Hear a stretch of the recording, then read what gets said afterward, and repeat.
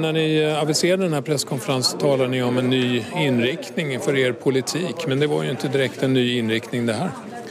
Det är snarare en ny inriktning för hur vi arbetar. Precis som vi har konstaterat så står ju Sverige inför ett väldigt, väldigt allvarligt och akut läge som övriga partier inte verkar låtsas om. Antingen har man inte förstånd att förstå situationens allvar eller så vill man helt enkelt försöka förneka och blunda och det kan inte vi acceptera.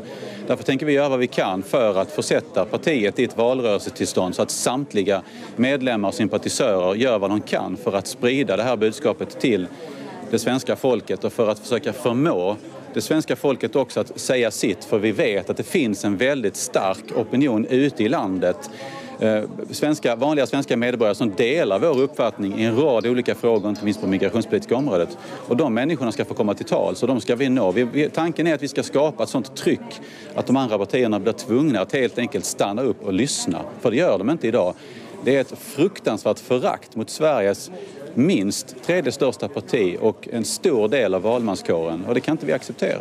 Men alltså ursäkta, men eh, du säger att inte vi uppmärksammar den flyktingsituation som befinner oss i. Vi pratar ju om det varje dag och de andra partierna ska träffas imorgon för att diskutera situationen.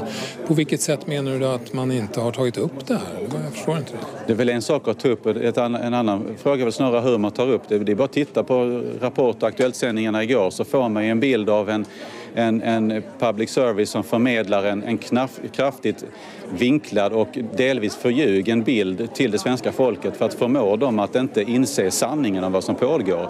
Det är ju inte att vara ansvarstagande eller ansvarsfull och eftersom inte public service klarar av sitt uppdrag så tänker vi göra vad vi kan för att sprida en mer rättvis och sanningsenlig bild av vad som pågår. Men vi rapporterar ju om det här varenda dag i princip. Vad menar du med att vi inte informerar om det som händer? Jag menar att ni rapporterar en vinklad och, en vinklad och icke sanningsenlig bild av vad som pågår. Att man försöker skönmåla och försöka lura det svenska folket att tro att saker och ting är mer eller mindre under kontroll, vilket de inte är. Vi tänker göra vad vi kan för att berätta för det svenska folket att vi står inför en systemkollaps. Vi kanske redan är där nu. Om det här fortsätter i några månader framöver så riskerar hela det svenska välfärdssamhället att totalt raseras. Och då menar vi att det svenska folket måste få den informationen och de bör ju också naturligtvis få sin chans att säga vad de tycker och tänker. Vårt mål är ju slutligen att de ska få säga sitt i en folkomröstning för allt annat är djupt odemokratiskt och icke ansvarsfullt. Ja, eh, Okej, okay. jag tackar dig för det. Eh, Tack. Tack så mycket. Eh, och eh, därmed så tackar vi från den här presskonferensen från riksdagen.